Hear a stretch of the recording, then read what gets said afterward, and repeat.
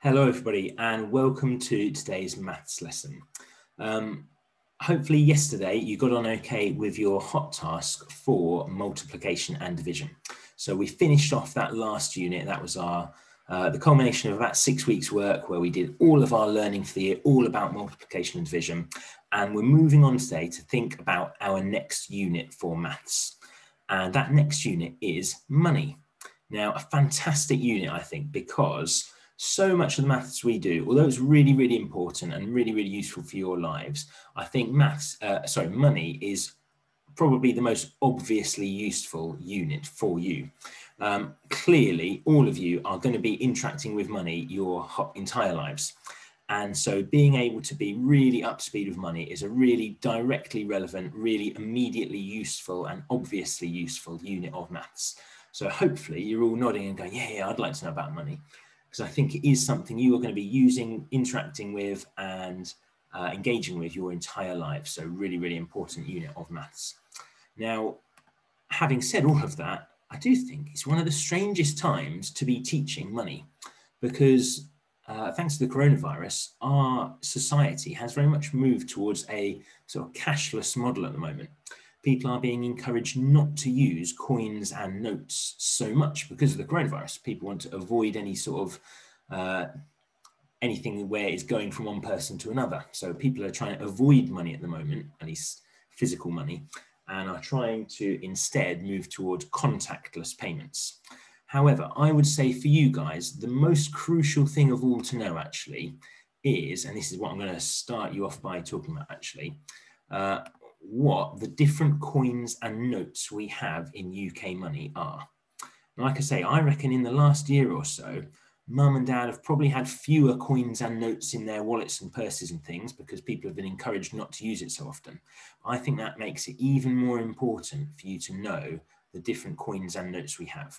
And the reason I want to start with this is that this is actually the learning you did in year two. So we're kind of uh, trying to refresh our memories a little bit. I know that in year two with Mrs. Saunders, you'd have done lots of work with money, and I'm talking about physical money, with coins and notes. And almost certainly she'd have got our plastic coins and notes out, and you'd have been playing with some of those and sort of doing some maths with some of those. And hopefully you built up a bit of a familiarity with the different coins and notes that we have in UK currency. So what I'd like you to start by doing is pausing the video and drawing all of the different coins and notes you can remember. So what I mean by that, it doesn't need to be an accurate drawing. I don't need you to get a sort of bronze pen out or anything like that. But can you just show me the different coins and notes that we have? So I'll give you a wrong example first of all. If there was such a thing as a seven pound coin, and spoiler alert, there isn't, you would just draw something like this. It doesn't need to have the right number of sides or anything like this. You just draw something like that. If you thought there was a seven pound coin, there isn't. If you thought there was one, you draw it a bit like that.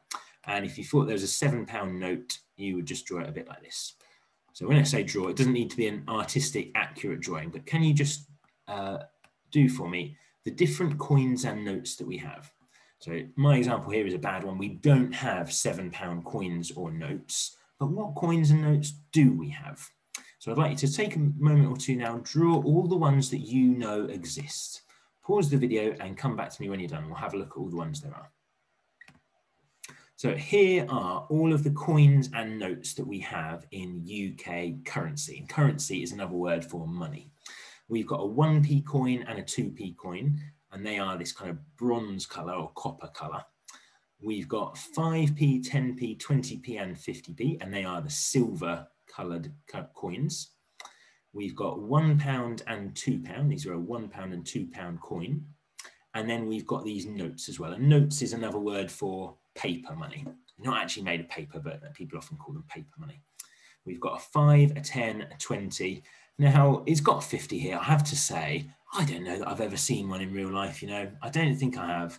Uh, 50 pound notes are fairly rare, um, not just because of a teacher's salary. It's not just to do with that, but 50 pound notes are fairly rare. You don't often see these. They do exist, but you don't often see them out and about.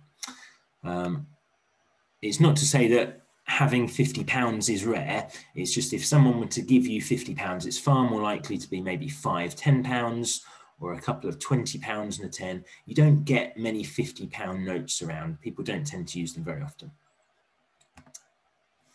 So a couple of questions to start you off with then. These, this is, sorry, these are some of the sorts of things we'll be doing in class today. We have some plastic uh, coins and plastic money and things that we will be sharing out and kind of using physically to sort of do some of these things. If mum or dad happen to have some coins and notes in their wallet, you might be able to ask very nicely and tell them it's for educational purposes. And you might be able to say, mum, dad, can I have a few pound coins and a few 50p pieces? You never know, you might get lucky, they might help you out. But in any case, I think if not, we can draw them. I've put up on the board, or sorry, on our whiteboard here, uh, I've put up the different coins so you can very easily draw them. And again, it doesn't need to be an accurate drawing. For your 50p, it doesn't need to have all the right sort of sides or anything. For 50p, you could just draw something like this. You could just draw 50p. And That would show me that it's a 50p coin. But can you either draw, or if you're very lucky, you might have some coins and you can make some of these different things. i have got a few example slides here, but you could just as easily create some of your own. You could get mum or dad to challenge you to make some. You could uh, challenge mum or dad to make some. Play around with some coins today and have a go at some questions similar to the ones I'm about to give you. So can you make one pound with five or more coins? Exactly one pound. Can you make that with five or more coins? Can you look at some different ways to do it? Is there more than one way you can do it? Can you make seven pounds with less, sorry, with five or fewer coins? Can you make seven pounds with less than five coins? That would be really brilliant. So again, try out a few different ways, see what the different currency we've got here that we can use to make seven pounds or less is. How many different ways can you find to make 13p? Are there lots of different ways? So again, try out a few different ones, write down your ideas, um, pause the video in between each time. Okay, and we're going to look at a few different um, questions here again. And really, the whole aim of today's session is to familiarise ourselves with all of the different coins and notes that we have in UK currency. So I'm giving you a few example questions here, but actually the most important thing you could do would just be to play around. I've got a few games and things at the end as well that I can uh, put in the link. But sorry, I can put the link in the description uh, you can play on later. But really, I would encourage you today, make this your playing with currency day, make it you're familiarizing yourself with currency day. There are all sorts of different ways you can do this. I've got some questions on the board here, but any way that you can practice this would be fantastic. It doesn't just mean do these questions and then never think about it again. Try to use today to really familiarize yourself with UK currency and the different coins. So there's one question you could do. Here's another one. How much money is there?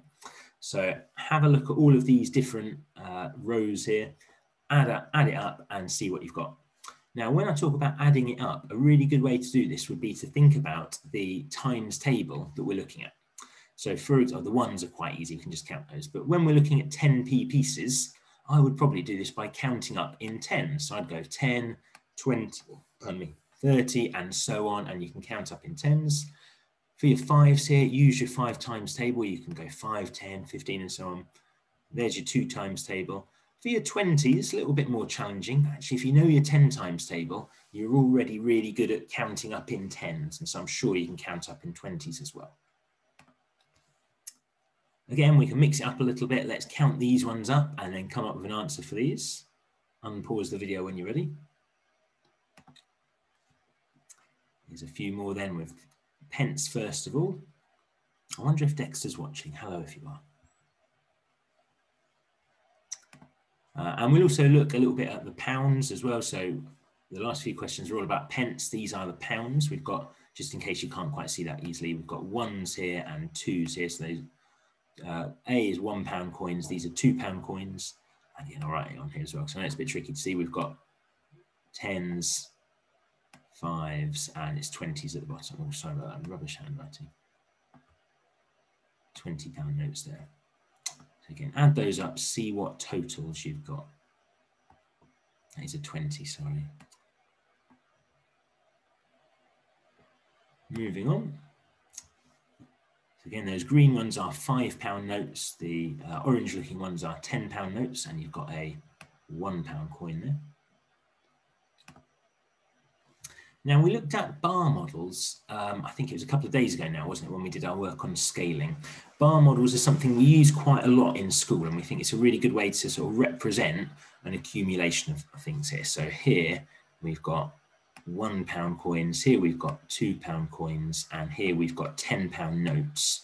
What is the total of everything we've got there? So your bar at the top is going to be the total of everything you can see there. Ah, okay, so hopefully you've had a bit of a chance to do some written work there. But I think far more excitingly, I've got a link in the description to a couple of really fantastic money games. And this would be a really fantastic thing to be playing today, over the next few days, to really familiarize yourself with these coins. I want you to be experts in UK currency. I want you to know all the different coins we've got, all the different notes we've got, and I want you to feel really comfortable doing a little bit of adding and taking away with them. So there's a couple of great games here. I'll leave you to uh, play with these and to uh, have a bit of fun with them. The first one, you are given the price of a toy and it asks you to um, select the coins that will total that amount. And similarly, the NatWest one, this is a really good one from a bank called NatWest. Uh, you can see this little sort of character here, which is like a purse. You've got to put the correct amount of money in the purse. So really fantastic pair of games. And these would be brilliant ways to practice this skill that we are looking at today and really familiarizing ourselves with our currency. So I hope you have fun with that today. I hope you enjoyed playing those games. And isn't it great? You know, mum and dad can say, oh, are you, are you sure you're doing work? That looks like a game. And you can say, yes, Mr. Vass told me this game is educational. And he told me I've got to be playing this loads. So there you go. You can tell mum and dad, I've just got to be playing games on the iPad today. It's what Mr. Vass said. Hope you have fun with that. Enjoy, and I'll see you back here later on.